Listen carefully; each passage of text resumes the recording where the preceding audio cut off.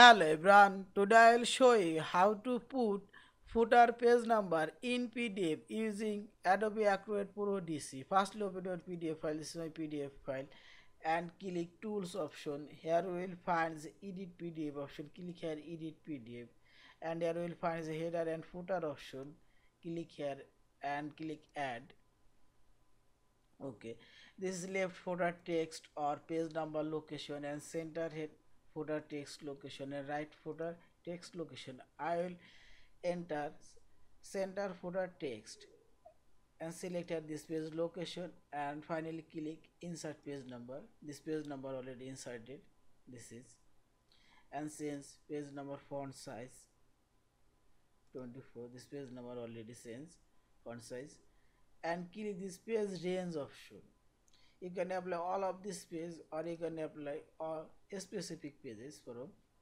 I will apply all of these pages. Okay. And finally click. Ok this footer page number already inserted all of these pages. And pass page to page 4 this is. And finally click file option save as your pdf file Thank you for watching. Please subscribe, like, share and comments.